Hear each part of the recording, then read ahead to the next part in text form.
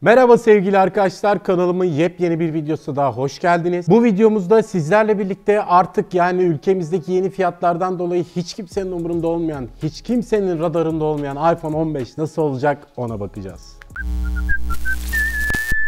Hemen başlıyorum arkadaşlar. Şimdi bana soracak olursanız aslında 13s Pro olan fakat Apple'ın piyasaya iPhone 14 diye sunmuş olduğu telefonların gerçeğini 15. seride göreceğiz. Şimdi ben ne demek istiyorum? Ya bu cümle ne demek? Şimdi şöyle bir şey arkadaşlar. Bu düz 14 modelleri bana soracak olursanız 14 falan filan değil. Maksimum 13s Pro olabilirler. Çünkü hani herhangi bir hayati bir değişiklik söz konusu değil. 13 ile 13 Pro ile 14 Pro'yu ayıran en önemli özellik olan dinamik ada bu iPhone 15 ile birlikte düz iPhone'ları da gelecek. Yani yani iPhone 15'te de 15 Pro'da da dinamik ada özelliği olacak. Bu ne demek?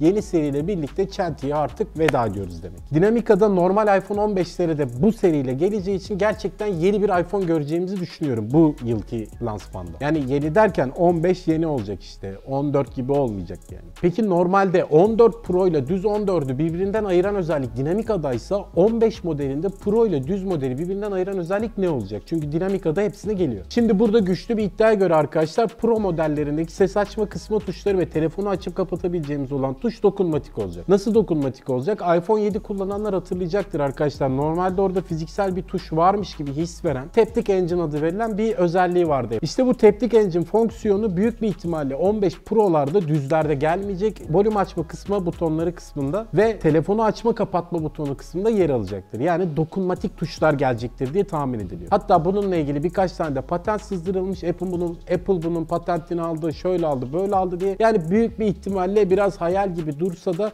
o butonlar dokunmatik olacaktır. Tabi burada farklı durumlar da var arkadaşlar. Mesela iPhone cihazlarda bulunan o fiziki tuşların telefonu açma, kapama, sesi açma kısmı dışında farklı fonksiyonları da var. Fakat Taptic Engine ile birlikte dokunmatik tuşlara geçildiğinde bu özellikler ne olacak? Bu kısmı biraz tartışma konusu. Yani telefona fiziki bir müdahalede bulunmamız gerektiği zaman mekanik anlamda ne yapacağız? O yüzden bana soracak olursanız ihtimaller %85'lerde ama gelirse de değişik olur. Biraz tasarımdan devam edelim. Özellikle bu yeni çıkan telefonlarda benim gerçekten hiç hoşlanmadığım bir durum var değerli arkadaşlar. O da şu ki kamera çıkıntısı. Muhtemelen 15 ile 15 Pro arasında bir kamera çıkıntısı farkı da olacaktır. Çünkü 15 Pro'nun kamera dizilimi üçlü ve farklı özellikleri barındırıyor bünyesinde. Bu nedenle o masaya koyduğumuzda kameraların işte böyle telefonu hafif böyle havaya kaldırması falan filan olayı 15 Pro'larda birazcık daha ayyuka çıkacaktır. Daha güçlü bir durum var arkadaşlar. O da şu. Şimdi AB uyum yasalarına göre Apple'ın iPhone modellerinde bu sene 4S kanunundan Type-C'ye geçeceğini biliyoruz. Yani mecburen geçecekler Type-C'ye. Fakat şöyle bir söylenti dolanıyor. Pro ile normal 15 modellerinde farklı Type-C portların kullanılacağı söyleniyor. Mesela Pro modelde Thunderbolt ve USB 3.2 teknolojisi desteklenirken normal modelde bu özellikler desteklenmeyecek. Pro model normale göre daha hızlı şarj olacak ve daha hızlı dosya aktaracak iddialara göre. Tam Apple'lık bir hamle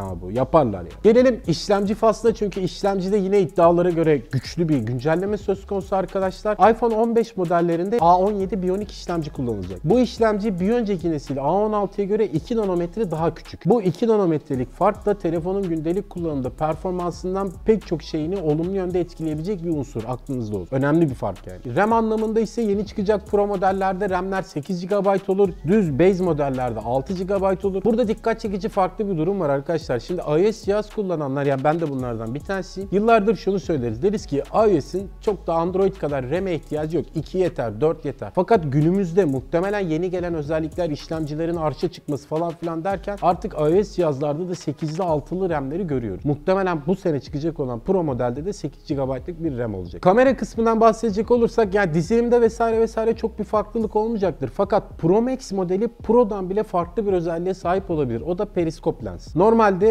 iPhone'larda 3x'e kadar biz optik zoom yapabiliyoruz. Bu periskop lenslerle birlikte sadece Pro Max kullanıcılarının 10x'e kadar optik zoom yapabileceği söyleniyor. Bu belirleyici yani ayırıcı özellikleri saydığımıza göre gelelim isterseniz canımızın en çok sıkılacağı noktaya ne olabilir? Tabii ki de Türkiye fiyatına. Şimdi bir önceki seriye bakıyoruz. Avrupa'da falan filan zamlanmaz da bizde kesin zamlanır. Ya bence düz 15 modeller 30-35K bandında 15 Pro 40-45K bandında bağ değil 40-45K bandında 15 Pro Max'ler ise minimum 55, 60, 50'li böyle bir garip saçma sapan bir fiyat fiyat bandında Türkiye'de satışı sunulacak. Bunu da not edelim. Bence fiyatlarım doğru. Uzun lafın kısası değerli arkadaşlar bu saydığım 3-5 özelliğin dışında yeni çıkacak modellerde çok ciddi bir farklılık olacağını düşünmüyorum. Hani en önemli özellik işte bu dinamikada düz modellere gelir. Belki sağ soldaki tuşlarda dokunmatik olur. Bunun dışında çok hayati bir farklılık olacağını sanmıyorum. Ama yine de şöyle bir içeriği toparlayayım istiyorsanız neleri söyledik? Bir, yine tekrar olacak ama dinamikada tüm modellere yayılacak. İki, ses açma kısma tuşunun dokunmatik olması düz 15 ile